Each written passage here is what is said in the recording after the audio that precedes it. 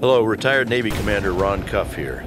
This short film is about the harm of using drugs or alcohol before age 21 and the dire consequences of that early use. Remember, a great life is like a great flight. You must get trained, know your destination, and most of all, you need to keep your brain healthy. Enjoy the film.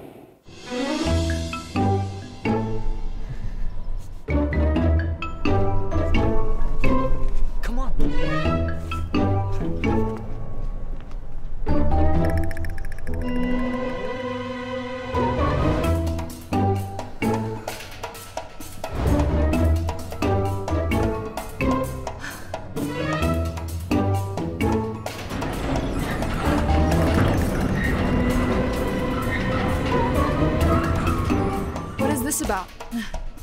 It's all about you and your brain. What are you talking about? Your growing brain, silly. Just to let you know, you only get one, and it's pretty darn important. It's about flying, too. You wanna fly? Yeah, yeah, yeah, I do.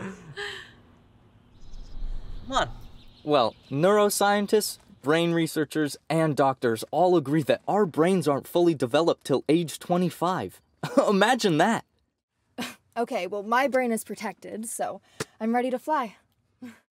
Not so fast, Maverick. Using alcohol, cannabis, or nicotine can cause our brains to be rewired and make us more likely for drug addiction later in life. Fooling around with any type of substance when we're young can well, can lead to another substance, which can lead to the incurable disorder of drug addiction. So, Maverick, where do you want to end up? Here?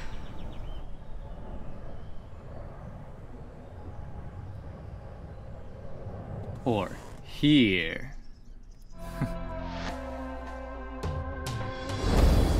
This is Commander Cuff again on behalf of SafeLaunch. Hopefully, you found this film both fun and inspiring, but its message is clear. Using drugs and alcohol will hold you back. Keep your brain healthy, build a great life, and fly. Ooh, fly high. Hey, all you gotta do is reach the sky. Ooh, fly high.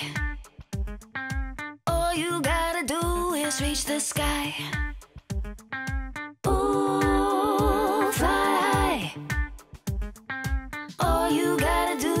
reach the sky. Don't you know that anything that you want to do, anything you dream of, you know it's up to you. You can reach the highest, you can fly up above. Take care of your head.